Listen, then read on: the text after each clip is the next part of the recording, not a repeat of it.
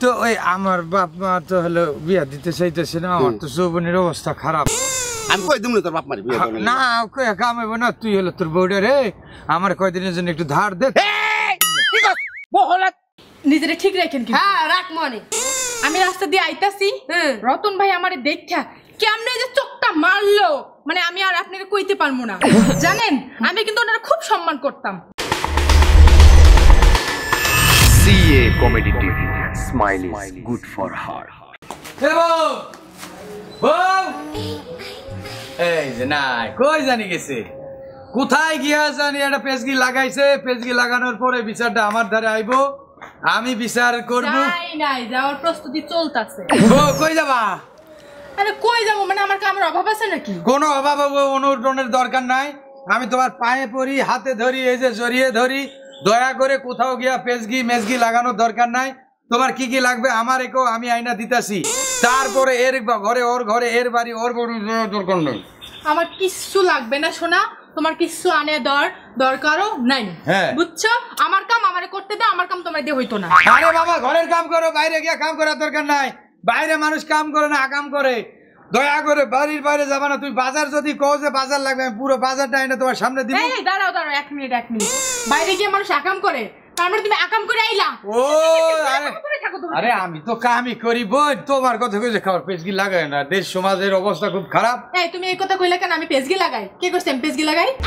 আচ্ছা যদি না আসে লাগাও নাই আর লাগাই না। হ্যাঁ জান? সোনা পাখি ময়না টিয়া গুগু কাউয়া বাই। আমি চলে গেলাম। দয়া করে কোথাও যাইবে না। ভিতরে যাও ভিতরে যাও ভিতরে ভিতরে ভিতরে। যাইতাছি তুমি যাও আগে।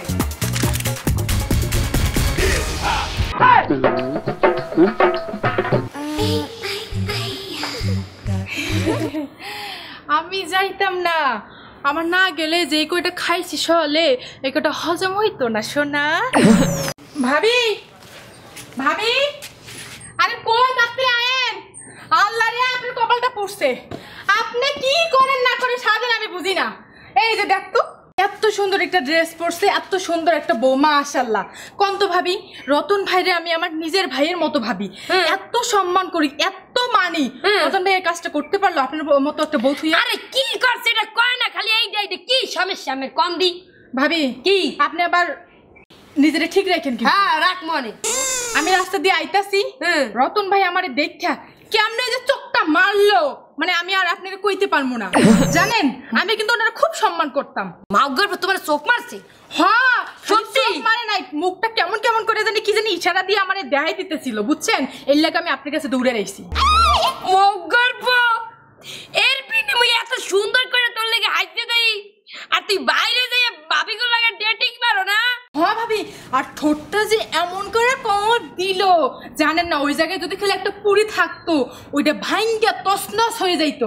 যাই হোক ভাবি মানে আমি যে আপনাকে কইলাম এটা কিন্তু আবার কোয়েন না আমার নাম তাইলে কিন্তু আমার উপর ঝড় যাইবো। আমি আপনারে আমি আপনারে খুব মনে করেন যে কাকা ভাবি এর কথাটা কইলাম। আজকে। গাছ ওরে মুই?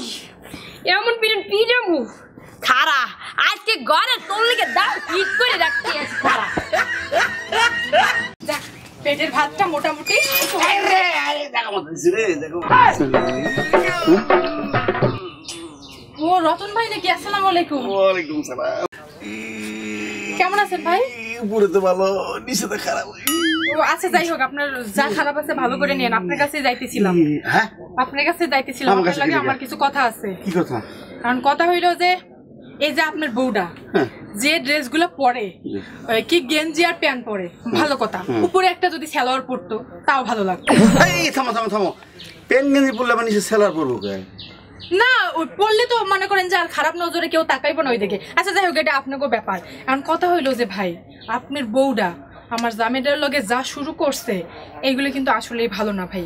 হ্যাঁ? এইগুলো কিন্তু আমি আসলে আপনার কাছে জানাইলাম পরবর্তীতে কিন্তু আমি অ্যাকশন নিব। পরে আমি বাড়িতে একলা তুইছি তাহলে আমি আমার অনুপস্থিত বাড়িতে এই নিয়ে প্রশ্ন করে।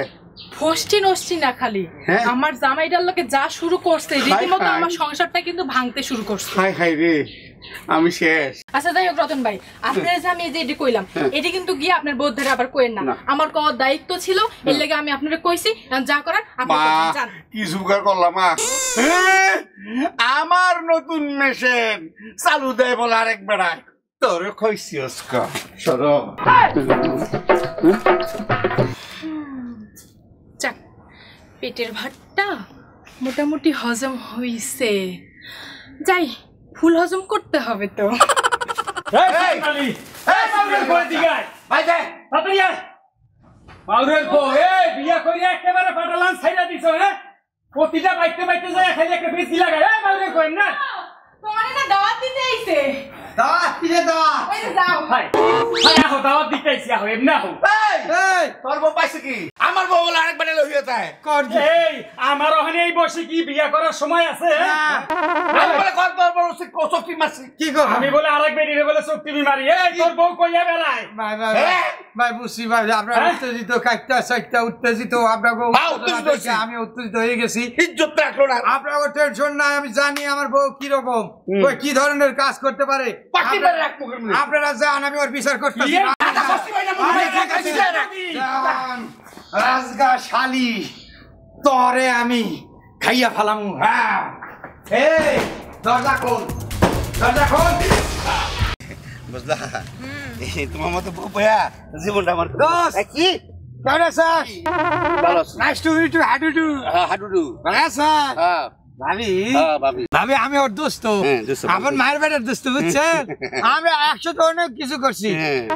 ওই একটা মেয়ে নিয়ে জঙ্গলে গেছে, আমি কইছে কে কে কে তুমি কে? না ওই একটা হলো হ্যাঁ। ওই পোলা নিয়ে জঙ্গলে গেছে। হ্যাঁ, হ্যাঁ। যাওয়ার পরে মারামারি লাগছিল। পোলা নিয়ে জঙ্গলে গেছে না মাইয়ে নিয়ে? পোলা, পোলা। পোলা, পোলা, পোলা, মারামারি করছে তাই। ভাবি একটা কথা কই? দোস্ত তুই তো আমার সবই দিছস দেখ। আমি যা চাইছি টাকা ধার হ্যাঁ। চাইলে টাকা দিছি আবার ফিরে দিছ ফিরে দিছি। হ্যাঁ। মনে কর হলো ওই যে তোর মানে জামা কাপড় যা চাইছি দিছস আবার হলো ফেরত দিছি। দোস্ত আমার ফ্যামিলিতে তো টান পড়েন চলতেছে। এমন একটা পয়সা দেওয়া যাবে না আমাকে টাকা পয়সা টাকা পয়সা না ভাবি টাকা পয়সা না। এই গড়ি আবার চাইছে। না ঘড়ি সব না। তো ওই আমার বাপ মা তো হলো বিয়া দিতে চাইতেছে না আমার তো যৌবনের অবস্থা খারাপ। আমি কই দিমু না তোর বাপ মারি না কই কামাইবো না তুই হলো তোর বউটা রে। আমার কয়দিনের জন্য একটু ধার দে। কি বহলাত! কাজ এটা রাইছস যেমন ফালাই দিলাম দেবার তুই মুছবি। আরে বেটা এ পর্যন্ত তোর কাছ থেকে যত কিছু ধার নিছি আমি ফেরত দিছি না। হ্যাঁ। তোর বউরে ফেরত দিব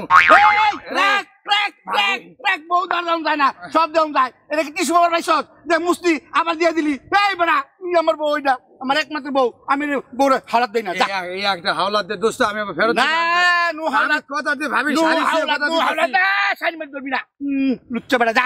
যা চল চল চল। ভাবি। তোর বউয়ের উপর ঠাড়া পড়ব তোর উপর ঠাড়া পড়ব হালার পালা মাউগার বউ। ওই যে একটা খাড়াই রয়েছে ওইটারে ধরি।